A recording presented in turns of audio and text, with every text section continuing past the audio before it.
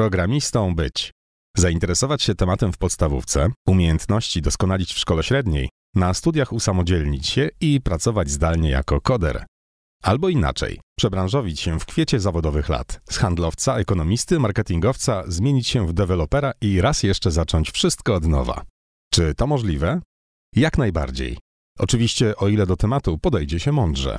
Najlepiej od strony frontendu, który jest zdecydowanie prostszy do opanowania niż backend, a równocześnie otwiera przed swym adeptem niezwykle szerokie perspektywy.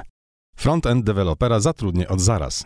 To nie żaden chwyt reklamowy. To krzyk rozpaczy spragnionych kierowników działów i szefów firm IT. Czy jesteś gotów do nauki nowego fachu? Jeśli tak, to usiądź wygodnie, otwórz umysł, odpal szkolenie i ruszamy w drogę do Twojej pierwszej samodzielnie zaprojektowanej strony www. Co Cię czeka podczas naszego profesjonalnego szkolenia?